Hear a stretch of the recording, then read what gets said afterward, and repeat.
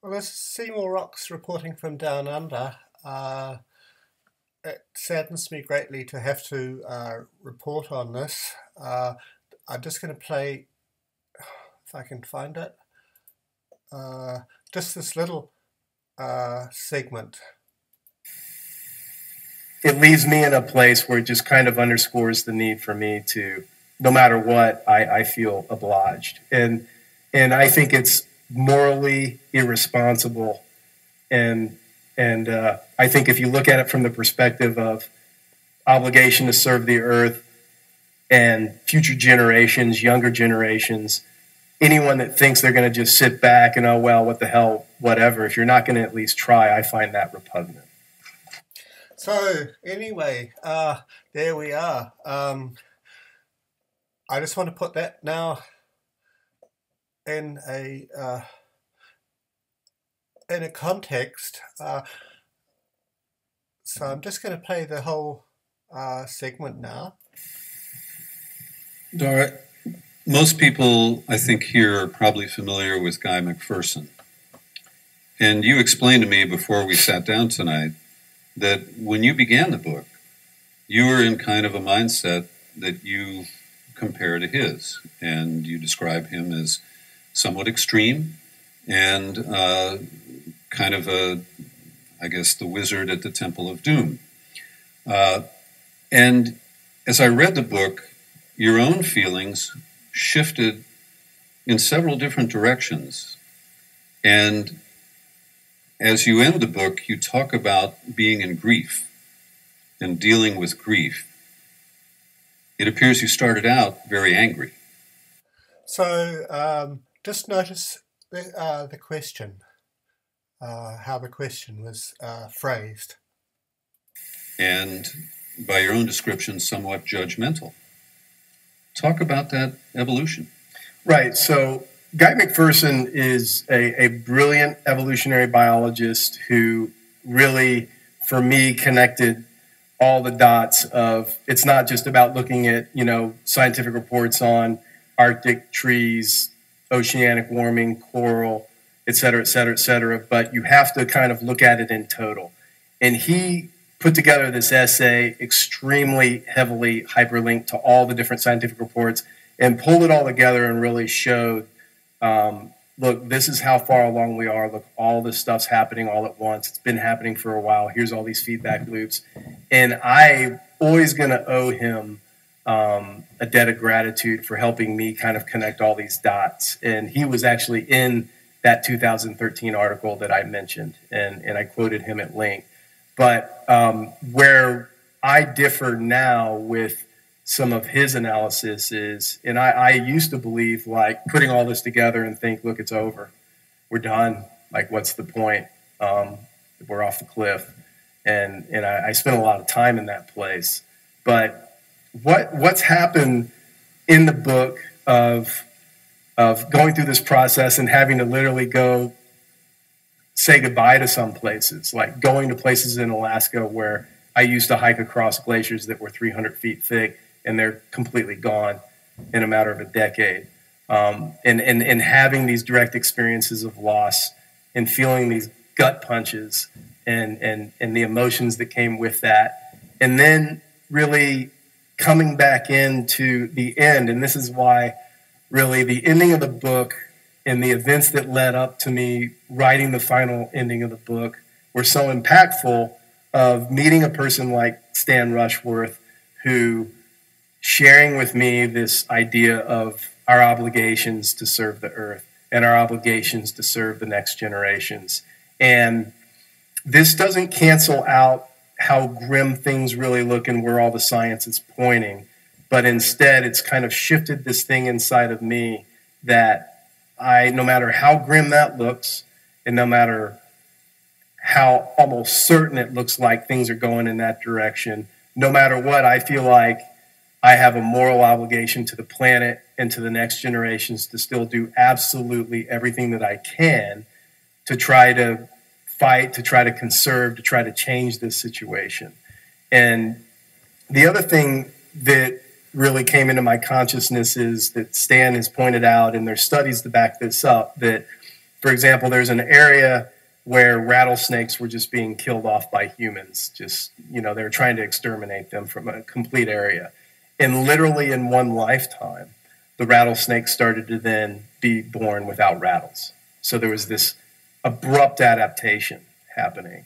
And then similarly, there was an area where elephants were being wiped out for their tusks. And literally, in one to just a few generations, they started being born without tusks, or they wouldn't grow. They stopped growing tusks.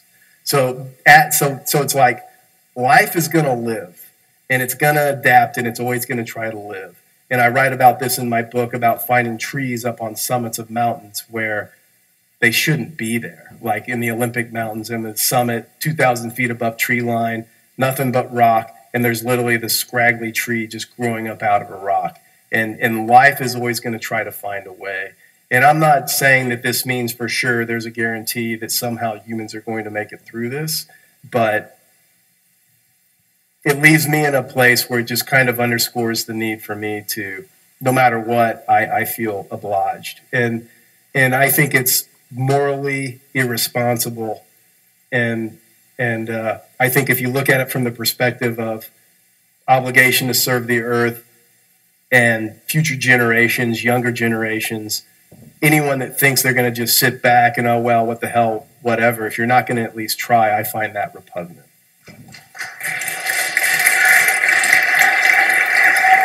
So there we are. Uh, I'll go back to uh, to Guy now. Um, so Guy was pretty sensitive about this, and I'm not at all surprised, uh, given what he has been through and continues to go through every day with uh, with death threats from just being the mes- messenger. Uh, I have to say from the outset that uh, well, I've been an admirer of uh, Dahr Jamail, especially his very brave coverages in Iraq, and he did some very good things um, on uh, Deepwater Horizon. Then he's gone on to climate change. But it has to be said that, if I've got it right, uh, that really what started him on this path, apart from his own observations and things, that he has this debt of gratitude uh, to Guy McPherson and to his his his long essay, and he does, uh, to give him credit, uh, acknowledge that. Uh, so, Guy is saying, "Are you suggesting I haven't sacrificed enough, even though I've sacrificed far more than you can possibly imagine? Are you suggesting that I've given up? That I'm encouraging others to do the same because that's what I'm hearing." What more do you expect from me? Well, uh, you know, and then he goes on, and then uh, he doesn't hear from uh, from Dahr, and then finally he gets this response. Guy, I have often both publicly and privately acknowledged you for your role in shaping my thinking about climate disruption and uh, to be fair. Uh, he does it in this uh, in the answer to this question. Uh, please know that the unflattering words of mine you mentioned were not directed at you. I wish you the best. Well, that sounds a little bit disingenuous to me because we all know the criticisms that are laid at the feet of uh, of uh, Guy McPherson, and they're exactly what he says uh, you know, of, of encouraging people into non-action, etc. So it's a little bit disingenuous to say uh, that the unflattering words were not directed at Guy. Of course they bloody were. I mean, that's that echoes everything, all the the uh, ad hominems that are placed at his feet constantly. Um, because people can't accept what he's saying. So, I mean, despite that, I think uh, that's a very disingenuous response. And of course, those comments were directed at Guy, and so they could be construed as as an attack. but the thing was, uh, I, I've got no idea what he says in his book, and I'm probably never likely to because I don't think I'm going to read it. Um, but for me, the main uh, guilt for this episode is actually the uh, journalist Peter B. Collins. I thought that was an absolutely despicable uh, question um, that uh, kind of encouraged a response like that. That's what he was looking for. I mean, it's quite it's there right in the in the, in the question if you if you uh, read it, and in a way, it was an entrapment. Um, so that's very unfortunate.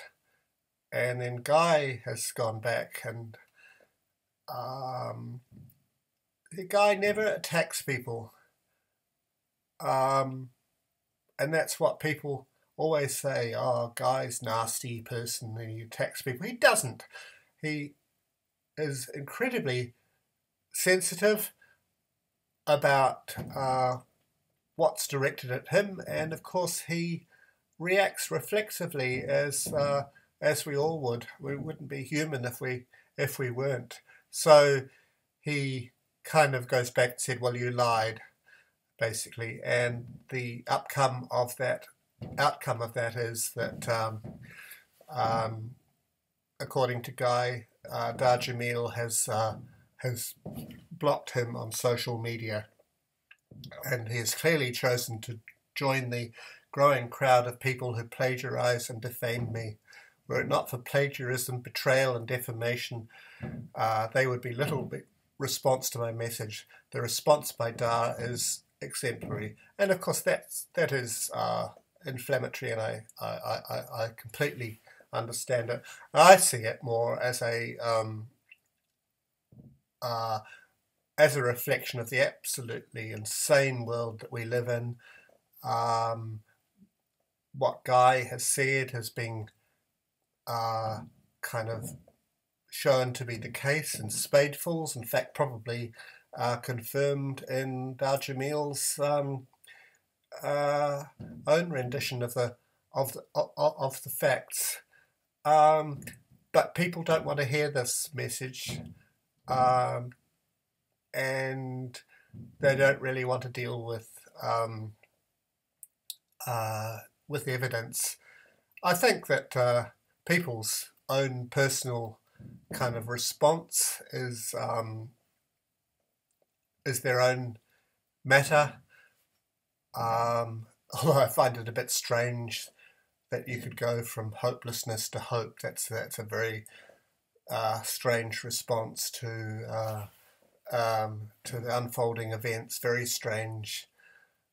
Um, but when you do something like this, Peter B. Collins and kind of invite someone to attack someone else, I just find that uh, absolutely obnoxious, even more than anything that comes from Dahr Jamail. Anyway, that's my two cents worth. Um, yeah, there's a Seemorerocks from Down Under.